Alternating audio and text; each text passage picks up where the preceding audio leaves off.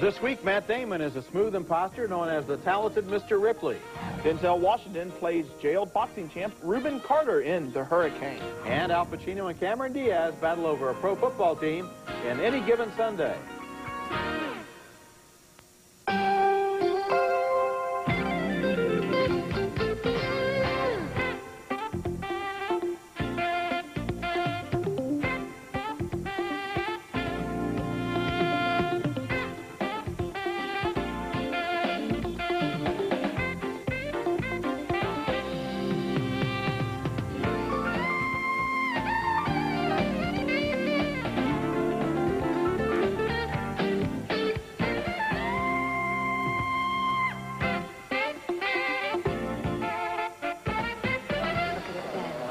Dickie Greenleaf?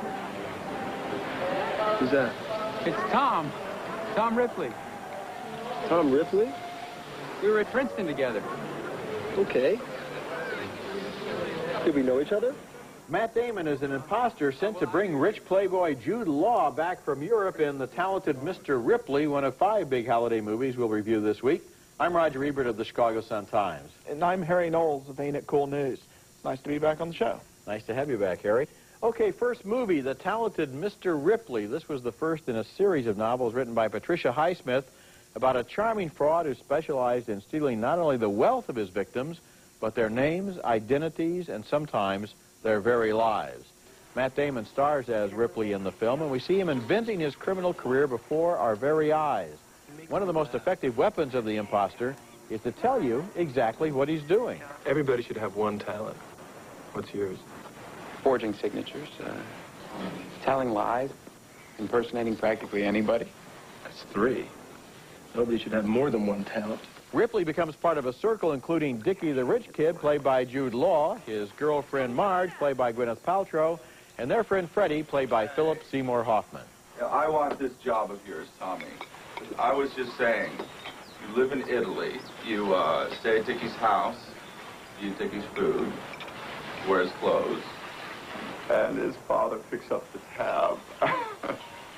uh, if you get bored, you let me know, because I'll do it. Before long, their play takes a nasty turn, and Ripley has killed his new friend. He turns into a gifted liar, concealing the crime by inventing a story to explain Dickie's absence. Is that what he said? He, he wants to be alone? He was thinking of you. He asked me to deliver this. Thank you. he knows I love this. Ripley assumes the dead man's identity, which works until Freddy turns up. Freddy knows Dickie is missing and suspects something. You know, in fact, the only thing that looks like Dickie is you. Hardly. Hmm. So, have you, done something to your hair? Ripley is a fascinating character. He seems to have no real life of his own, and so he steals the existence and identity of others. Matt Damon's performance is scary in the way that Ripley doesn't seem personally affected by any of the suffering that he causes. He's just kind of above it. Anthony Minghella, who made The English Patient, is directed as sly and intelligent a thriller as I've seen this year. Absolutely. You know, the, the key point in this film from Matt Damon is where he says, I'd rather be a fake somebody than a real nobody. Because, I mean, that's the point where he's saying, you know, I am a nobody. Mm-hmm. And that as a single person, he can only be a nobody. Mm-hmm. It's only when he takes on other people's personas mm-hmm. that he is someone. And that's a really scary, sort of dangerous character to be getting into. And of course, Ripley was then developed in a whole group of books by Patricia Highsmith mm-hmm. as this person who kind of sidles into people's lives and steals everything they have and everything they are. And what's interesting in this movie is in most thrillers we identify with the good guy, but here we're forced to see everything through Ripley's eyes, mm-hmm. and when it seems like he must be exposed, you know, all these people who know who the real Ripley is and who the real Dickie is are going to get together in one room and realize they're not the same person. We, that has to happen, and he thinks so fast and improvises so desperately, trying to keep his whole deception in the air, and it's just fascinating. Well, that's what I love about this. Is, is it's a picture-perfect pathological liar, because what you're looking at is somebody who doesn't know what he's going to say from moment to moment. He doesn't know he's going to kill somebody. He's reacting to decisions, mm -hmm. to where the roads split, and he always makes the decision that best suits him. It doesn't matter to what it means to anybody else, and he has no feelings about that. And it really involves us every single moment. Absolutely. Right. Okay, our next movie. In 1940, Walt Disney gave life to Fantasia. The goal was to bring classical music to the masses and to advance the art of animation. The film would be in constant flux, substituting new segments every year or so.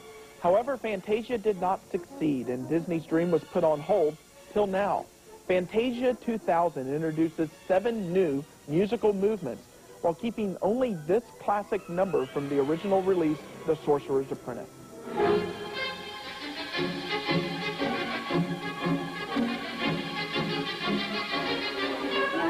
The film is bigger than ever, being presented in the IMAX format. And Donald Duck is also in on the fun as Noah's assistant. Pomp and Circumstance is the musical theme here.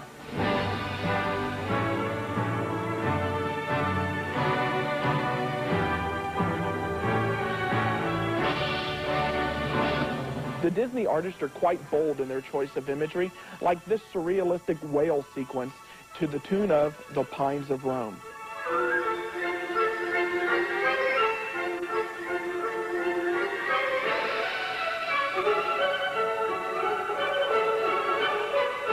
And this impressionistic number set to Beethoven's Symphony Number 5.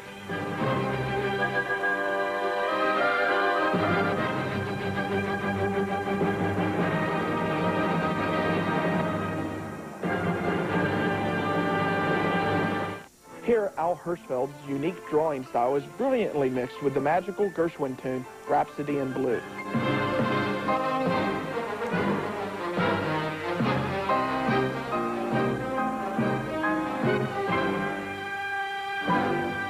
The beauty and grandeur of the presentation makes Fantasia 2000 a must-see for film fans the world over. I have only one small critique, and that is the annoying celebrity breaks with stars such as Steve Martin and Bette Midler introducing the segments. Originally, Walt Disney had Fantasia concert programs that the audience would receive upon entry to the theater.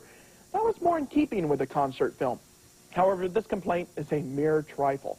Fantasia 2000 is pure art, deserving not only my thumb way up, but multiple viewings as well. Gee, I enjoyed it too. And you know, I love almost anything in IMAX because mm-hmm. I like the way that the picture as well as the sound surrounds me. And so I really got into this and enjoyed it. Now, I know that some purists say that when you link images with music, you're locking it down when actually music should be amorphous. But on the other hand, this use of animation, this use of visual imagination to link with this music, to me is exhilarating. And I liked it, although I agree with you, we don't need the sugarcoating of the little introductions. It's like they're afraid that you won't want to hear classical music unless Steve Martin tells you it's okay. Well, it, to me, it felt like they were trying to, you know, oh, excuse the lack of dialogue in our film. Here's somebody who, to, you know, keep you interested in what we're Uh-huh. doing. And they didn't trust the art form because that, I mean, the animators here, the work that Disney's people did, Mm-hmm. are ju- it's just stunning. I mean, when, when I sat there and watched the Al Hirschfeld sequence in Mm-hmm. particular,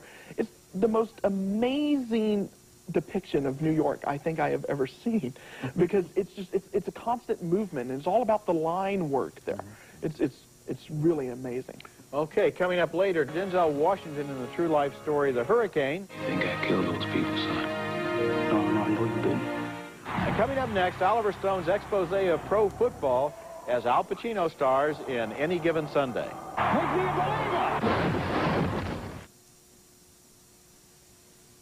I'm sick and tired of this. Are you? Because if you're not, raise your hand. Come on. If you're going to act like a loser, raise your hand. What the hell are you doing, Jay? I didn't want you to be the only person with his hand raised, Cole.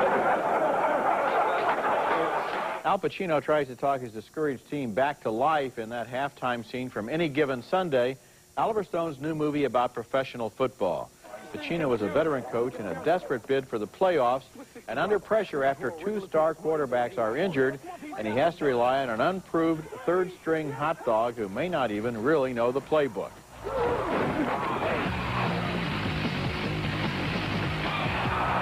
Touchdown.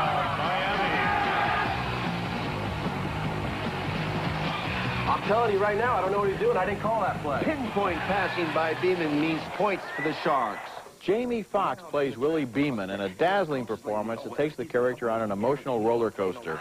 And LL Cool J plays a team member who complains the new quarterback is threatening his own chance of a year-end bonus.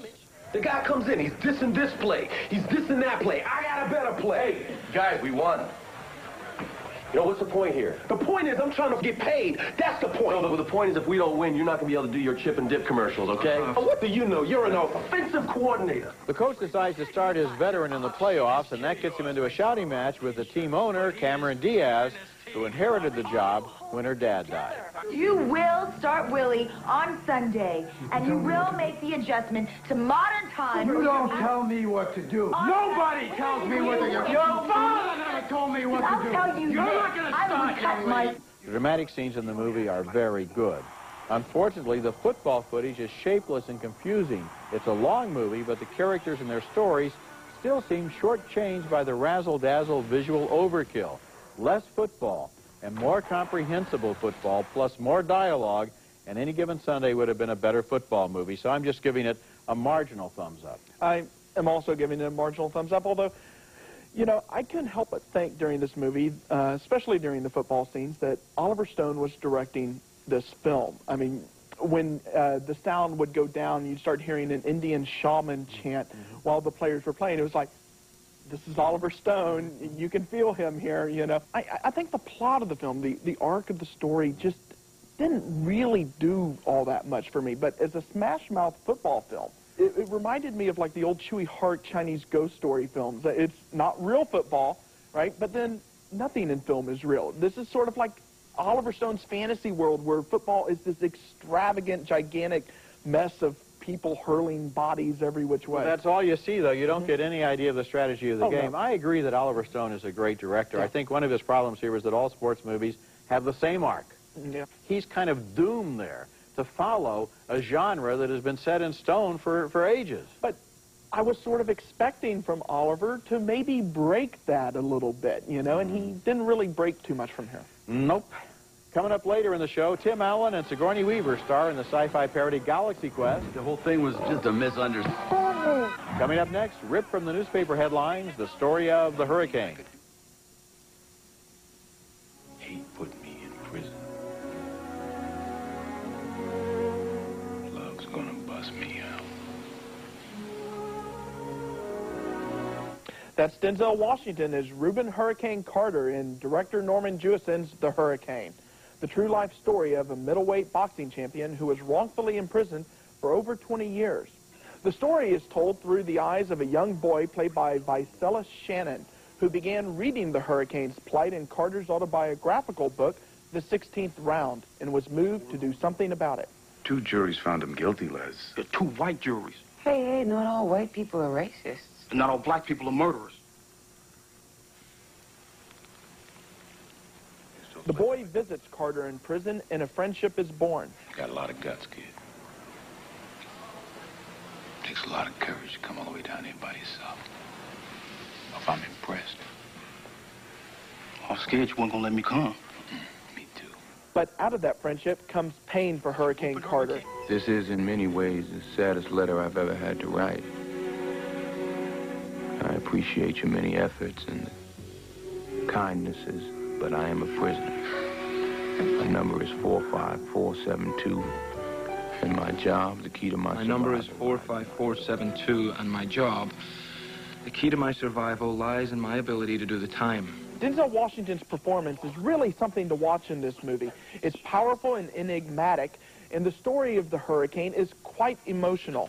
My favorite film of this type is Alfred Hitchcock's The Wrong Man. Here we have a little bit more conventional film, including the bad guy cops that framed him, the good Samaritans that freed him, the trial, and so on. What interests me most about the hurricane is how Hurricane Carter survives his prison time. Overall, the film is solid. I just wish Jewison had focused even more on that struggle.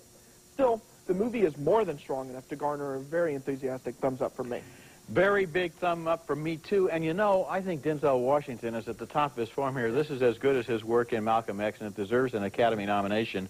And what got me, because at the beginning, it was kind of familiar. You know, uh, the evil cop uh, is framing this guy that he hates, and the guy goes to prison, and he doesn't belong there. And we've, unfortunately, we've seen stories like that before. But then, when the young boy comes in and he reads this story and he gets involved and his foster family gets involved and then the young boy and the older man become friends, suddenly the movie took a big emotional U-turn and it blindsided me. And I found by the end there were tears in my eyes. I really got involved in the last two-thirds of this movie. It's strong. Yeah, that last two thirds are amazing. The- mm-hmm. The problem, the only problem with this film is when they cast the bad guy, they cast Dan Hedaya, who just, you know, God bless him, he looks like the bad guy, and I hate it when they do that in a movie, right? You know, I would prefer to have someone who I could believe judges and all these other people would side with against, Well, you know. but you know, his role is kind of perfunctory anyway. Yeah. He comes in No. as the guy who sets up Hurricane, and then he goes away, and the real story is about what happens next. and that's a very small problem.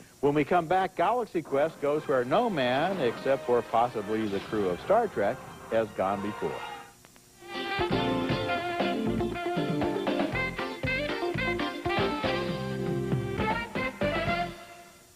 Galaxy Quest is our next movie, and Galaxy Quest is also the title of a fictional space opera that played on TV 20 years ago. Now its stars travel to fan conventions, making a living from personal appearances. But then, real aliens intercept their TV shows, think they're actual historical documents, and kidnap the cast, taking them into space because they believe in their skills and need them to fight enemy invaders. The aliens have helpfully designed a real spaceship that looks and works just like the one they saw on TV. Right. Take her out.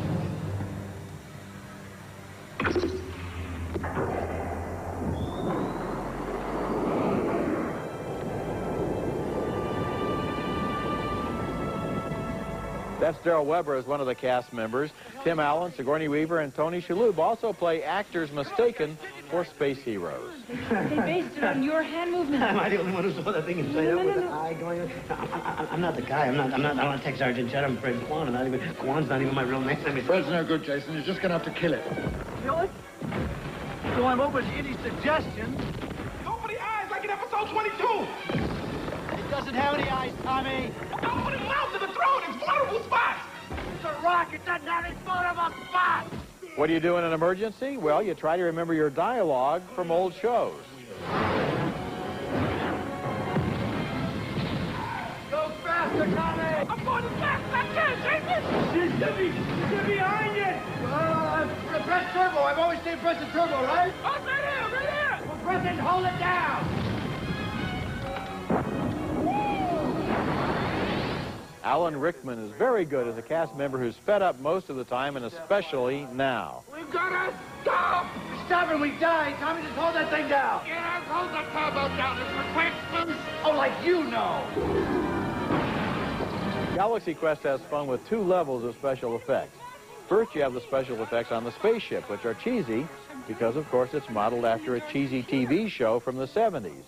Then you have the enemy aliens themselves, who look great and have been designed by the Stan Winston studio. And somewhere in between are the friendly aliens, who assume the look of humans but tend to grow tentacles during sex. Galaxy Quest is goofy and funny, especially when the actors revive old showbiz feuds right there in the middle of this real space adventure.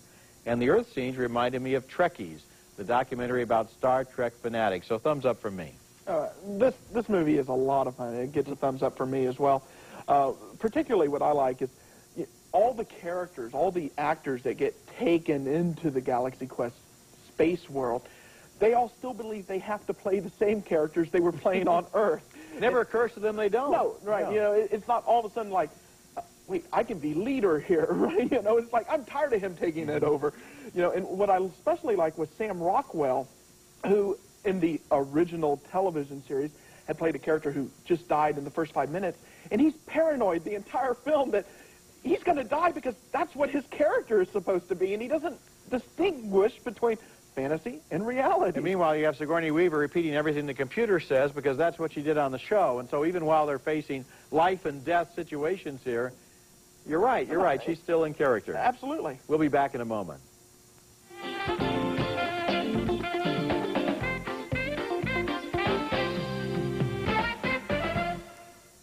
Toy Story 2 is the most fun you'll have at the movies this year. Get ready for never-before-seen Toy Story 2 outtakes. It's now funnier than ever. A little help here, please. Toy Story 2 outtakes now playing in theaters. Rated G. Jump. No! Out the window. Critics are calling Bicentennial Man a wonderful holiday movie. Robin Williams is brilliant. Do you have any friends? Only Wolfie. That is the extent of his skills. Bicentennial Man, a Chris Columbus film rated PG now playing. Now let's take another look at the movies we reviewed on this week's show. Two thumbs up for the sly and intelligent thriller The Talented Mr. Ripley starring the talented Matt Damon. Two more thumbs up for Disney's animated Fantasia 2000, which will appear on IMAX screens beginning January 1st. And two more thumbs up for Oliver Stone's Any Given Sunday, although Harry liked the game footage more than I did. Two big thumbs up for Norman Jewison's The Hurricane with an Oscar-caliber performance by Denzel Washington. It opens next week. And finally, two thumbs up for the Star Trek spoof Galaxy Quest. So a strong ending to a great season. The last four months have been filled with good movies. And who would have guessed that Galaxy Quest would have actually been as much fun as it was? Yeah, I uh, was surprised. Uh, Remember, you can hear our reviews on the web at ebert-movies.com, both Harry and myself. It's part of Go Network. And my new book, Roger Ebert's Movie Yearbook 2000, is now in stores.